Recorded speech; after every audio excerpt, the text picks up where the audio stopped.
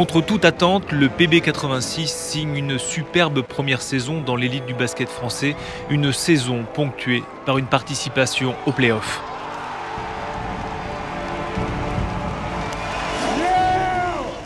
La saison suivante est très compliquée. L'hiver 2010 voit les joueurs poitevins au fond du gouffre.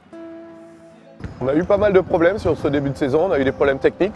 On a eu pas mal de blessures aussi. On a eu Guillaume et euh, Tommy qui se sont blessés. Et avec le staff, on a cherché à, trouver des idées, à, voir ce qu'on pouvait faire pour pouvoir euh, améliorer le rendement de l'équipe. L'entraîneur nous a alertés. On a donc mis tout de suite les tests en place pour vérifier l'état des joueurs. Les joueurs sont méconnaissables.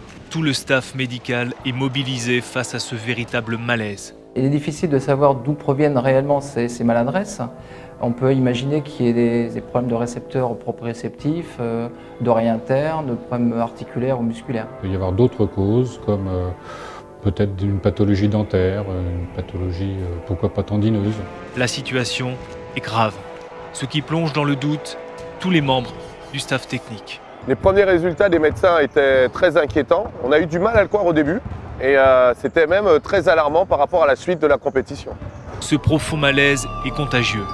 Il contamine jusqu'au comité directeur et même les partenaires du club. Début de saison difficile, des euh, défaites qui succèdent aux défaites et puis euh, donc l'ensemble du club qui craint pour l'avenir, des partenaires qui sont inquiets et puis c'est vrai que le spectacle n'était pas de très haute qualité, ne faisait plus rêver grand monde.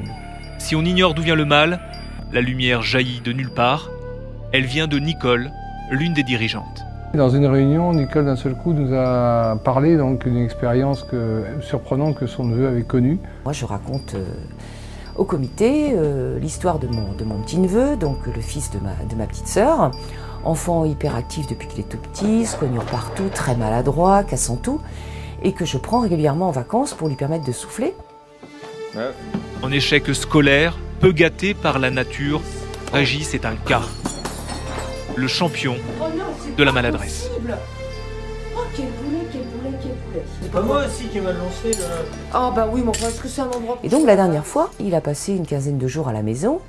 Et puis euh, un jour à table, ça faisait une dizaine de jours qu'il était là, il se met à jongler avec trois clémentines, mais euh, très à l'aise, très habile. Donc je m'en étonne, je le questionne. Et en fait, il m'explique qu'il va régulièrement donc au Futuroscope et notamment sur une attraction euh, avec des robots, danse avec les robots de Castelwally ou un truc comme ça, et que c'est ça qui lui a permis d'améliorer ses qualités euh, d'adresse et de pouvoir jongler avec, euh, avec ces trois clémentines. Et si ça marche avec Régis, pourquoi ça ne marcherait pas avec les joueurs?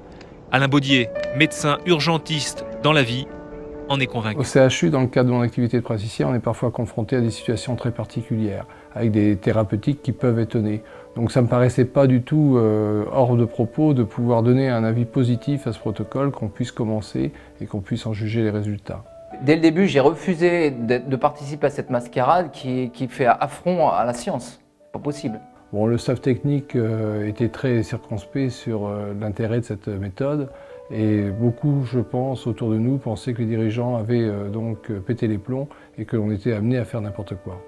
Le staff médical nous a demandé de suivre un protocole avec euh, trois séances hebdomadaires, plus une séance le matin des matchs à domicile.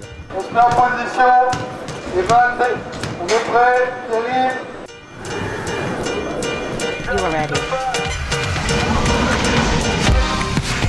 Les entraînements se reposent sur trois exercices avec trois rythmes différents, basculés de haut en bas, de gauche à droite.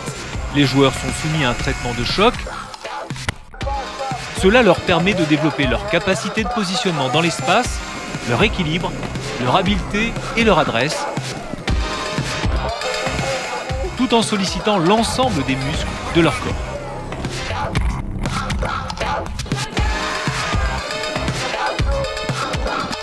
Ils étaient surpris par contre, ça nous a permis de remobiliser les joueurs par rapport à un objectif. Et ça marche, le changement est radical, on ne reconnaît plus les joueurs sur le terrain et les premiers résultats suivent rapidement. Derrière, on joue le leader Chalon, on les bat et cette victoire a crédibilisé le travail qu'on a fait en amont et on a voulu continuer euh, toute cette expérience qu'on a mis en place avec le Futuroscope. Quand j'ai appris que les, basketteurs travaillaient avec les robots, j'ai pas, pas été choqué. Moi-même, j'ai fait appel à la science pour mes quadruples sauts, donc euh, que les basketteurs en, fassent d'eux-mêmes avec, euh, avec les robots. Moi, je trouve ça complètement logique. Ce que j'ai dit à Rudy, c'est que ces méthodes n'étaient pas scientifiquement recevables. Mais vous savez, les coachs du PB... Euh, les bons matchs s'enchaînent, les basketteurs poitevins déjouent les pronostics, le staff du PB transforme le Futuroscope en véritable camp d'entraînement.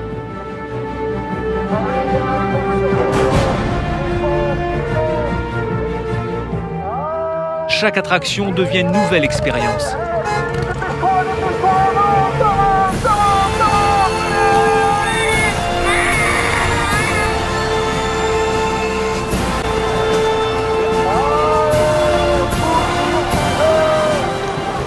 À force de volonté et d'abnégation, les joueurs parviennent à se surpasser.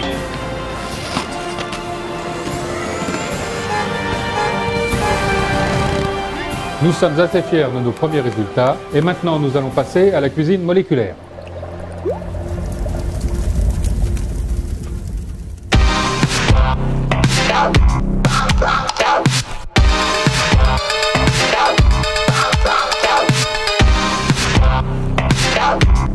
Bye.